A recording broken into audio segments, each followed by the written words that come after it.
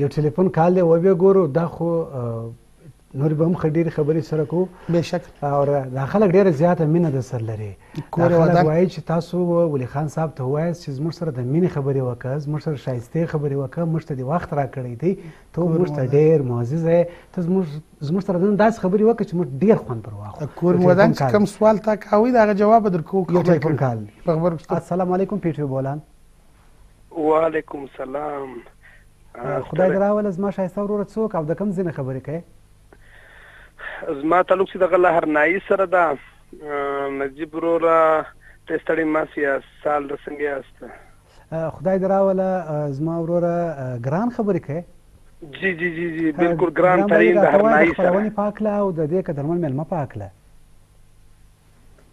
بس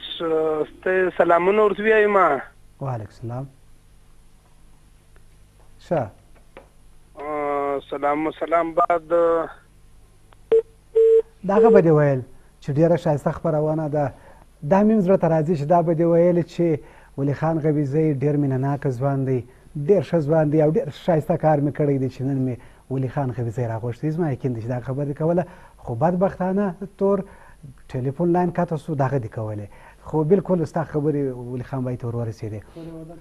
ولي خان بای دا زړه کله کله داسې یو خبره کوي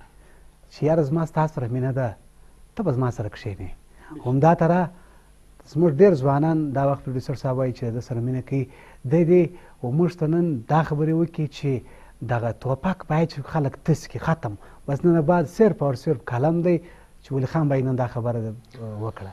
نجیب خان قلم خو دنیا په قلم ترقی کړې ده او موږ څومره څو وخت پورې د قلم ساره نه واخو موږ ترقی کولای نو سو او موږ پښتون باید دایه کوښښت وکړو چې په خپلو بچیانو باندې تعلیم وکړو زموږ هم دداسیاست له د راتګ لو وجه هم دایه وه چې علاقې له تعلیم راولو علاقې له شعور راولو درڅه وخته پورې چې ته تعلیم نه وکې په تا کې شعور نسی پیدا ته د خپل حق دعوه نسی کولی نو دا انشاءالله تعالی د هر مسلمان خواهش دی بیا زموږ ډیر دی. خو تاسو هم زموږ سره تماس نیولای سئ، ولي خان غویزی چې د وزیراعلا مشر دی زموږ سره موجود دی، تاسو زموږ سره بلکل تماس نیولای سئ. امین خانه یو بله خبره مې ډېره زیاته زړه ته راځي، تا خو د خانجي سره ډېر وخت تېر کړی دی، د ده یو داسې یو ښه اړخ چې ستا ډېر خوښ وي څنګه دی د. زموږ پخوا به دا خبره ډېره زیاته کېدله، ولې ته وایه لاس خلاص دی که نه دی؟ یاره نجیب خانه ما خو ډېر وخت کېږي د انډیوالۍ د خانجي سره او مطلب دی هر اړخ یې ښه اړخ دی دی بد اړخ یې ماته نه دی ګس معلوم چې زه وتا تر وشم هر پرار موضوع چې د په علاقه کې په علاقه کې د ترکیه پر علاقه کې د تر کارونه کړی دي د مسکینانو سره چې خپل وس قدرت دی چې د د سره زه ګرځېدلی یم یا د د سره زه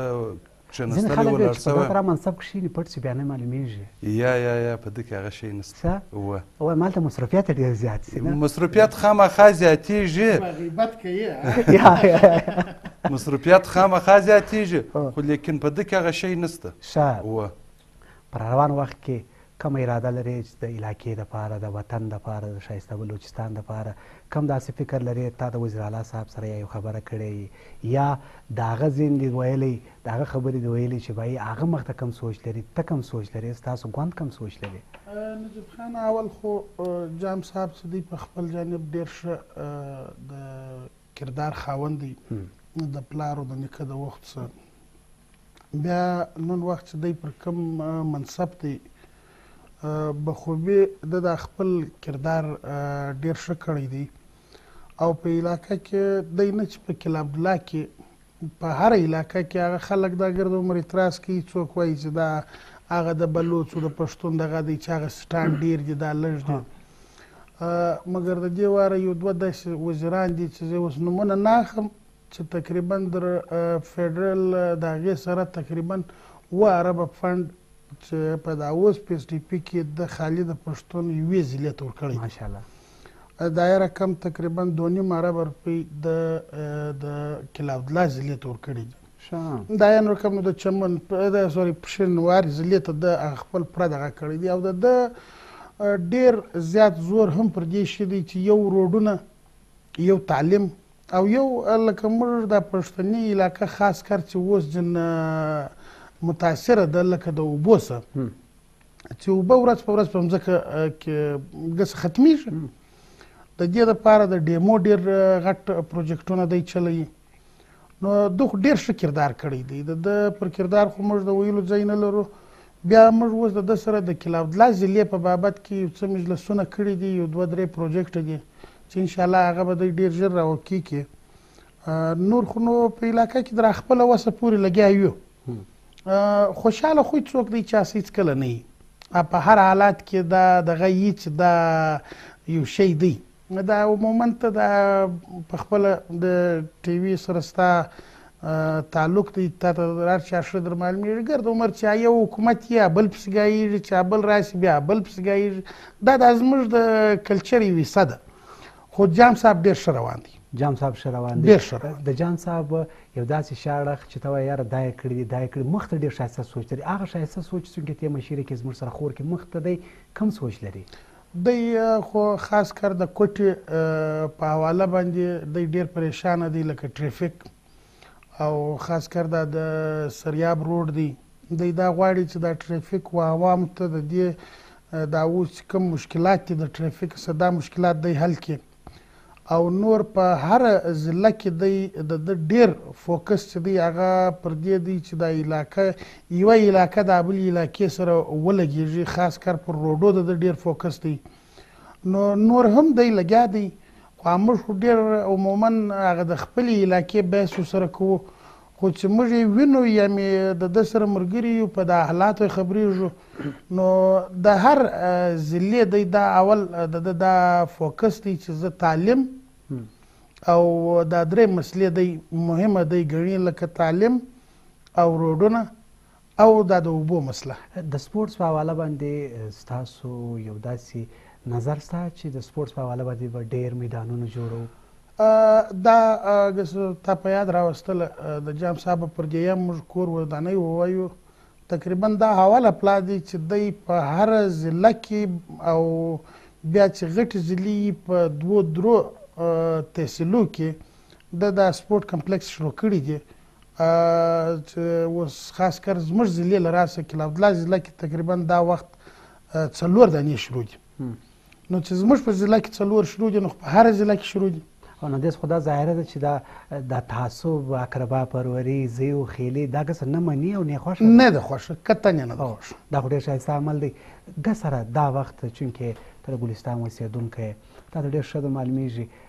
ستاسو په فکر باندې ولس څه غواړي؟ عوام څه غواړي؟ غوښتنه یې څه ده؟ تاسو هم خبر یاست.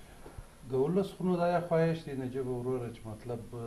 یو خوشحالي راشي، دا بدۍ ختم شي، دا مصیبتونه ختم شي، ورورګلوي راشي. د ولس خو نو دا یې غوښتنه ده چې تعلیم راشي، یو هسپتال جوړ شي، یو اسکول جوړ شي. زموږ د ولس، زموږ د ګلستان د خلکو خو دا خواهش دی چه برته اشنه باغونه سی زموږ بجلی رازیاته سی زموږ بجلی کمه ده زموږ بجلی رازیاته سی د زموږ د ولس د ګلستان پنځه ګنټې ده زموږ بجلی اچھا پنځه ګنټې ده پنځه ګنټې ده او بس تا او بو خوستا خو پنځه ګنټې کې بنو بیا باغ چیرې وسی بل شی به چیرې وسی صحیح ده خان جی برته سلام کی وګور دغه پوری دا یو بیس په یاد رالی نجیب خان د افغانستان یو وخت کې مخکې هم داسې سوي دي چې د علاقې څخه کډي تلل دي په پخوا وختو کې د اوبو د نیستۍ هغه بجلی لا زه په خپل په خپل ذهن باندې ښه ګڼم ولې که بجلی ولا تقریبا در دوه دوه نیم زره برمې ډېرې دي د دې نو هغه چې څه د څنګه وبدي هغه بل درولې وای خو ډېر ګرده شان عموما باید سړی پر حکومت هم نه وغورځي زموږ په علاقه کې ډېر دی شان سته چې هغه خلک اوس هغه بجلی که څه مهمه بولي نه چې بل ورکي یا دغه ورکي نو هغه که یې څه کمه کړې ده هغه د دې وجې ده خو بیا هم ناانصافي خو را سره شروع ده اول ستۍ په پښین کې دولس ګنټې بجلی ده او زموږ په دغه کې پنځه ګنټې ده ناانصافي خو ده ناانصافي ده ناانصافي ده خو انشاءالله لګیا یو هغه به مالا پاکسم کې نه انصافي واقعي ده لیکن یو بل خبره ده چې د ستاسو په حواله باندې دا خبره کیږي چې دا وخت اولی خان چې دی هغه دغه ویزو مشر نه دی د دې مشران چې دی هغه څوک دی دا کتون کې هم دا غوښتنه کوي چې اولی خان به په خپل راوشي زموږ خاندان چې دی دا خو د وخت په زمان کې د اڅکزي مشرتوب چې دا زموږ خاندان کاوي بیا چې موږ پاکستان له رالو نو نیم خاندان مې په افغانستان کې پاتې شو نیم پاکستان له رالی زموږ د غویزو تقریبا د پنځلس شلو زرو کورو پورې اوس هم په افغانستان کې آباد دي او هلته پر غټو غټو منصبو دي نو زموږ خاندان بیا ودې خواته ځین رالی ګلستان له زموږ مشر چې دی هغه حاجي احمد خان نومېږي چې موږ زما د نیکه بعد چې زما نیکه په بدی کې شهید شو د غبیزي قوم مشرتوب د درلاسه کړي نو مشر مې دی دی خو پلاله دی په دوبۍ کې دی د لې چې دا کم علاقایي ستونزې دي دا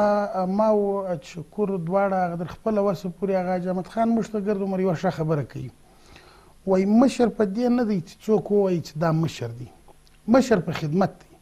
که هر چا خدمت کاوی هغه مشر دی او بالکل نو نو ته خدمت کوې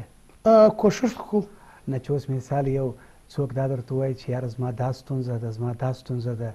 یا پېښور ته ځم یا کراچي ته ځم یا بل ځای ته ځم ناوسه یم ته خدمت کوې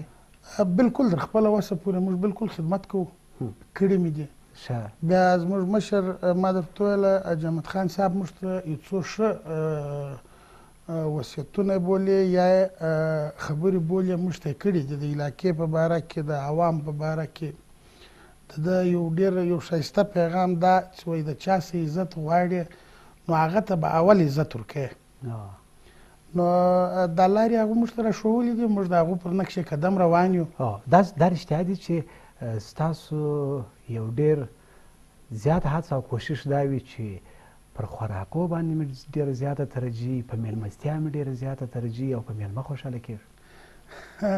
په میلمه خو به خامخا خوشحاله کېږي دا د خدای د خوایو نعمت وي مېلمه خو ډېر ښه شی دی خو عموما خانان په داسې شیانو کې لږ بدنامه وي متلونه پر سوي وایي د خان یو نوم دی پر کور یې مه ور خو بیا هم هغه در خپله وسه پورې کوی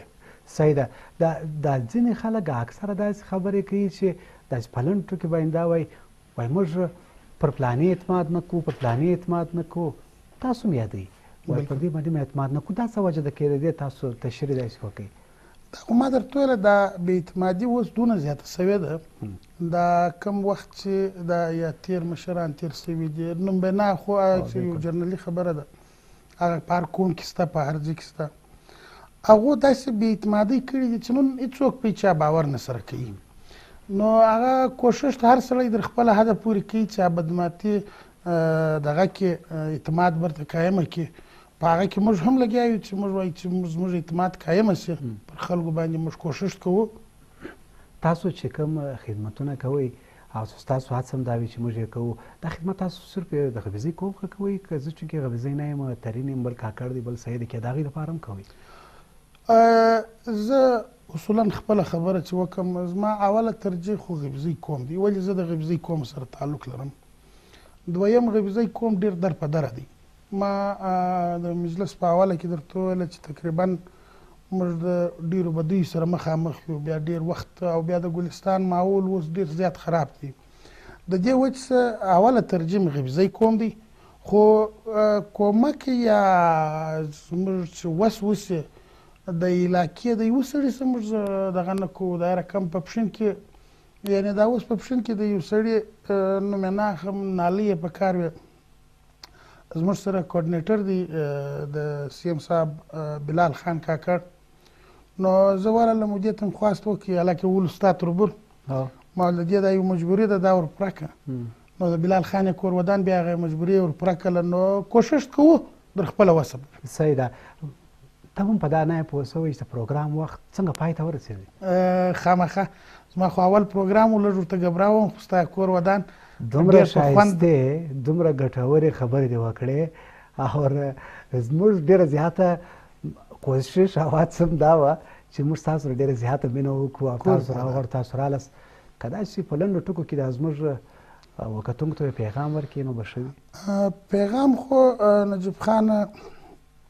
د هر مسلمان او د هر انسان بیا در پښتانه په د پاره دا دی چې په بدو هیڅ اشکر نه دی کړی او نه په بدو کې خوند شته د بدو وهلې موږ په خپل یو چې درنونه ورځې پورې در په در یو بالکل هر سړی د دا کوشش وکړي چې تعلیم ته ترجیح ورکړي هر سړی د دا کوشش وکړي چې علم ته ترجیح ورکړي دا په انسانانو کې شعور راولي او هر سړی دې دا کوششت وکړي چې کېل ته ترجیح ورکړي ولې کېلونه بیا د علاقو مینه سره زیاتوي خاص کر اوس د پښین خلک راشي په ګلستان کې میچونه کوي د ګلستان دا ورشي په پښین کې میچونه کوي نو زما خو خپله دا یو دوه دغه دي کې مرګري را سره ومني ډېره زیاته مننه ولي خان غبیزی صاحب ستاسو چې خپل قیمتي او دروند وخت مو راکړي حاجي محمد امین وروره ستاسو کور ودانۍ وایم چې خپل وخت مو راکړي الله مو هرکله راوله درنو مینوالو تاسو زموږ د میلمنو ډیر ډیرې ښایسته ژورې ګټورې او معلوماتي خبرې واورېدې زموږ د خپرونې هرګیز دا مقصد نه دی نه مې دا مطلب دی چې موږ د چا دل ازاري وکړو منم چې د چا به زړونه ډکې خامخا څوک به د یوه سړي څه شکوه کوي ګیله به اوسه کوي لیکن د هغه شی بیا هم زه زه په خپله زه نجیب زه دا خبرې تصدیق کوم چې زموږ خپرونه چې ده هغه د هر چا خپرونه ده هغه به د خلکو په زړو کې ځای جوړوي زموږ د خپرونې مقصد دا نه دی چې موږ د چا د لازیاري وکړو زموږ لپاره ټوله چې دی هغه د سر سترګې دی تاسو زموږ د سر سترګې یاست د بلې خپرونې پرې راکړئ اجازه هر ځای چې یاست په لوی رب مې سپارم د لوی الله په امان